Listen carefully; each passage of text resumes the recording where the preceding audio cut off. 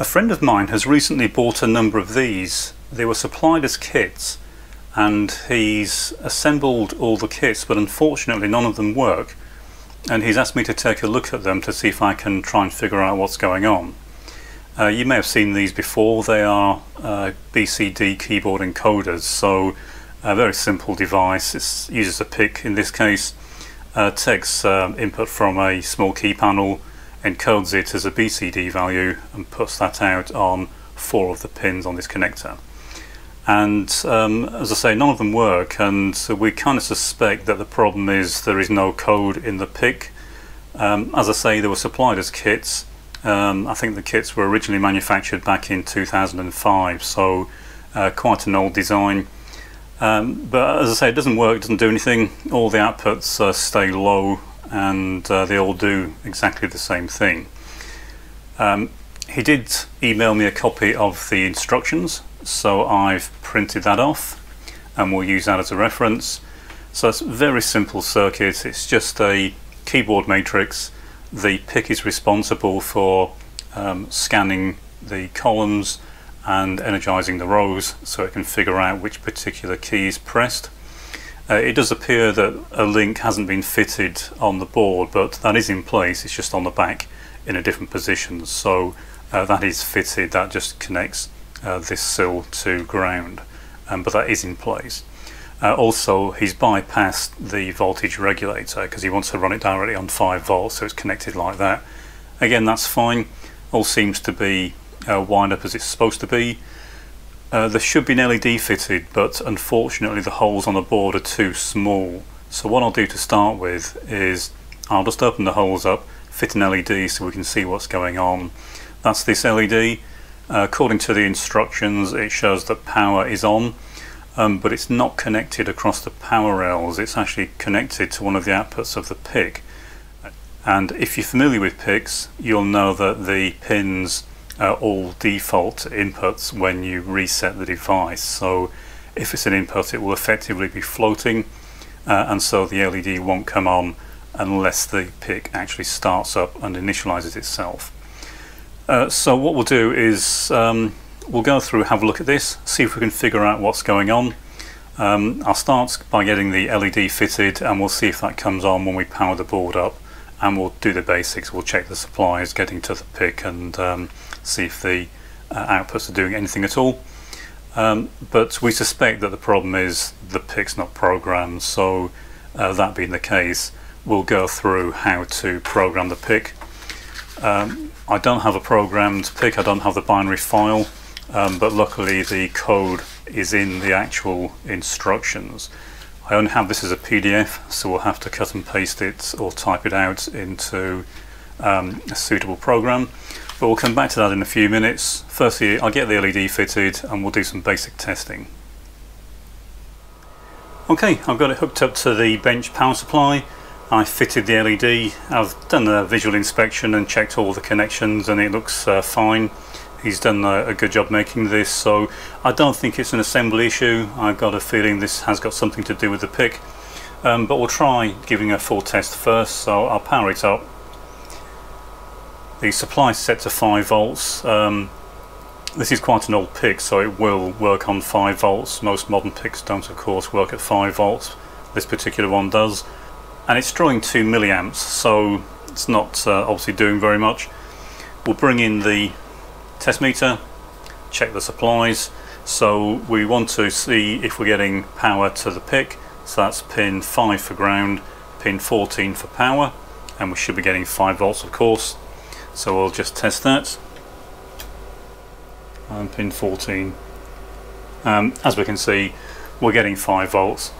We'll just check to see if we're getting any activity on any of the lines. It should be scanning the keys and um, obviously encoding the uh, the correct value when any particular key is pressed. So we'll try looking at the lines that are responsible for scanning the uh, keyboard. So that's pin 6 we're getting nothing at all. Just check the scope is uh, properly hooked up, which it is. Pin 7, pin 8, pin 9. So as we can see, these are doing nothing at all. Uh, also the fact that they are all low does tend to indicate that they're being pulled low by the uh, the SIL resistor uh, which in turn tends to indicate that the uh, pins are configured as inputs going into the PIC and of course some of these should be configured as outputs. We'll check the uh, columns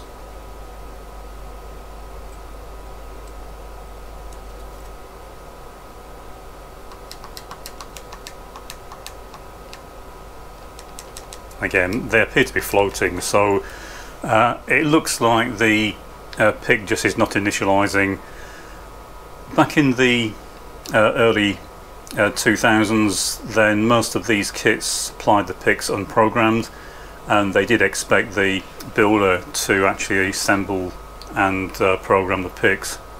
and so most likely it's completely unprogrammed and the fact it doesn't have a label on uh, would tend to confirm that normally if there's a program in something it's got some sort of label uh, so what we'll do now is we'll go back to the um, software and step one is to get the software into a program we can use to compile it into a binary file that we can put into the PIC. Um, so we'll go over to the uh, PC, I'll take the PIC out, we'll start by trying to uh, read it. Now we won't be able to read it I suspect because PICs generally have copy protection bits um, but it will let us test to see if it's blank and if it is blank then of course it's um, uh, unprogrammed. These are flash devices so we should be able to reprogram it and uh, we'll go from there we'll see uh, if there's anything in it at all and if not uh, we'll import the uh, source code um, get it compiled program the PIC and see if that resolves the issue. Okay, so we have the PIC in the programmer. We'll select the correct device type. So in this case, it is a 16F627. So we'll select that. We'll try to read it. Now if it does have program data in, it almost certainly won't read because the protection bits will prevent it. But we'll still be able to check that it's not blank if it is blank, it will just read as blank, so it will just show 3 triple F, um, indicating that uh, all the bits are unset. So we'll try and read it. And it is looking like it's blank. Um, we'll have a quick look, and sure enough, the PIC appears to be totally blank. So um, it's not surprising it doesn't work. Uh, as I said, quite often kits were supplied with the PICs like this and um, it was expected that the builder would program these. So what we'll do now is we'll go through and extract the um, data, the source code, and then we'll try to compile it. Okay, so we'll start by cutting and pasting the program data, the source code from the PDF I don't know if this is the correct version, but it's very simple um, software, so if we need to, we could just write it from scratch. It's not really doing very much. Uh, but we'll try this first. So to start with, I'll select all the source code in the file. So I'll copy that. Now, of course, this isn't going to compile directly from the PDF um, for reasons I'll come to in a few minutes. Uh, but what I'll do before I go any further is I'll try and paste what I've copied into Notepad and it is looking quite promising so I have been able to copy the text. So the next thing I want to do is go to a program I can use to compile this source code. Um, modern PICs you'd use um, something like MPLabX which is what I normally use for uh, current projects but for older legacy projects I still use MPLAB version 8 um, it is easier to use the older PICs like this and especially because this is an assembly um, you don't really gain that much from using MP Lab X and the extra complication of trying to use an old device in MP Lab X means it's just usually far easier to use an older version. So I'll create a project folder on the hard disk, I'll open MPLABX 8.76 and then we'll create a new project and see if we can get this code to compile. So when we first open MPLabX with no project loaded, then we get this screen. So step one is I need to create a project and uh, paste the source code that I've copied into the into a project uh, file. So we'll start by selecting uh, new. We'll give the project a name. Let's call it keyboard scan. I'll browse to the uh, directory I want to save this to. And we've now got a blank project. So I want to add a source file to this and copy the source code into it.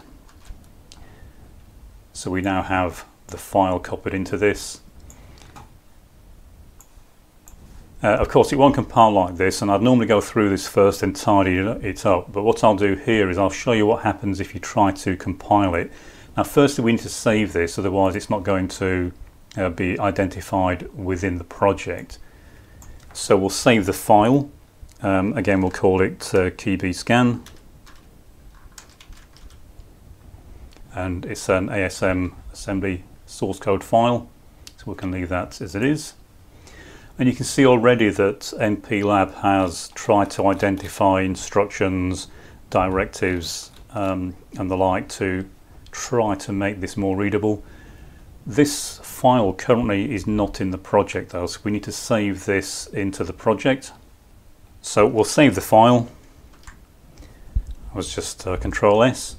And now we need to add this file to the project.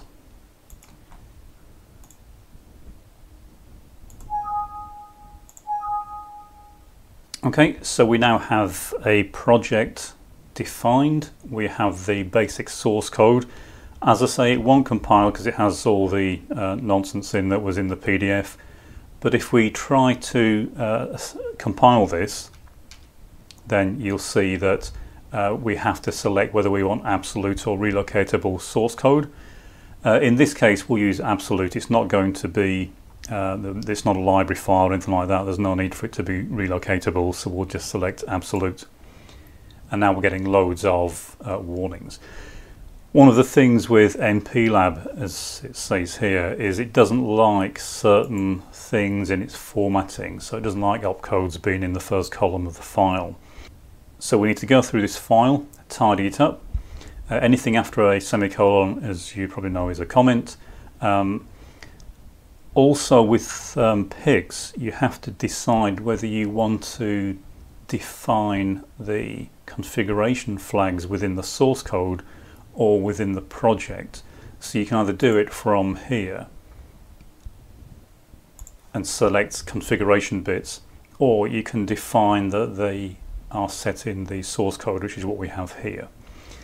If I'm starting a project from scratch I normally uncheck this and set them here until it's working the way I want it and then I'll uh, essentially duplicate those settings in the source code. But because this is the existing source code we'll use this um, we do need to tidy this up because it's uh, spread across multiple lines, which is what we don't want. Um, the compiler won't like that. Uh, and then we need to take anything out of column one that is um, an opcode, otherwise it won't compile. Also, anything that's that really should be a comment or is just information that's not part of the program, we can remove. So this, for example, is a page header that was in the PDF, so I'll just delete that. Uh, and then anything such as this uh, we can simply take out of the first column. And then we can keep doing that recompiling and we should find that the number of errors starts to go down. Um, the easiest way because most of it is uh, opcode it's assembly so uh, it tends to be mostly opcode what I'll do is I'll select all of it and we'll take that out of column one and now we'll get the reverse problem that we'll have to take some labels and put them back into column one. Um, but there's fewer labels than there is opcodes, so it's easier to do it this way around. So for now, we try and recompile. You'll see we're getting very few uh, errors now.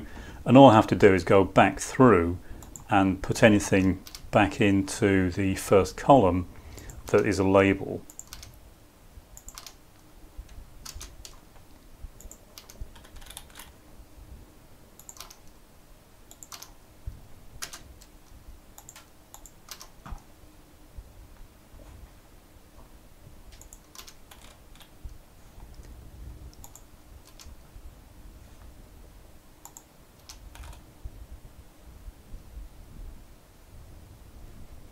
Try compiling again.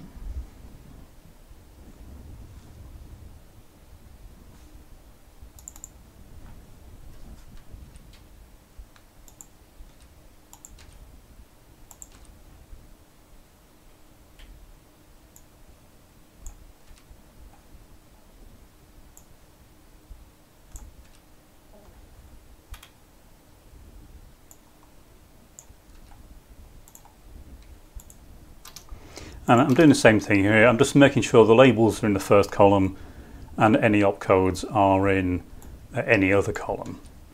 Okay, we'll try compiling again.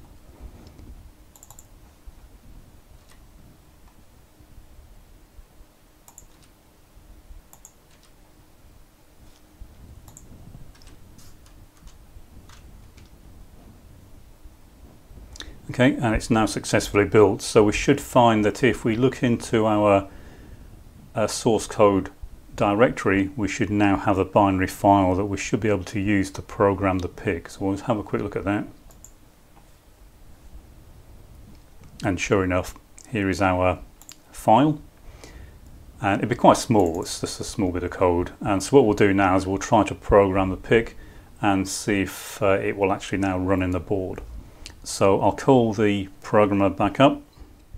So looking back at the programmer, we'll try to load the file we've just created.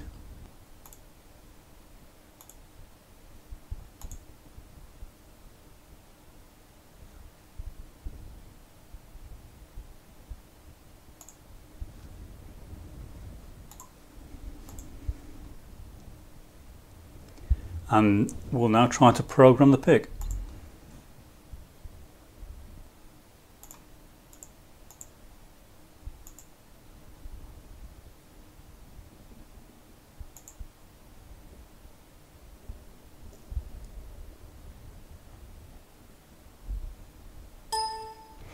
Okay, that's programmed. So we'll take the PIC out of the programmer, pop it back in the board and see if that's resolved the issue. Okay, so I've popped the PIC back into the board and we'll now power up the board and see if uh, anything happens. I suspect the LED should come on, but as I said earlier, it's actually controlled through one of the pins on the PIC, so the PIC does need to start up for that LED to come on. Uh, so we'll try powering it up. Again, I've got it set to 5 volts. And sure enough, the LED is now on. Reading the instructions, the LED should go out if a key is pressed, which it is doing. And what we'll do now is we'll hook the scope up to each of the BCD pins and see what happens. So, first one, and as we can see, the scope responds to certain key presses. We'll try the next BCD line. Try different keys.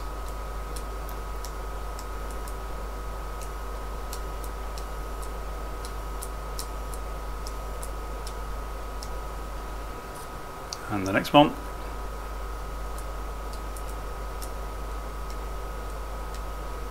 And the last one.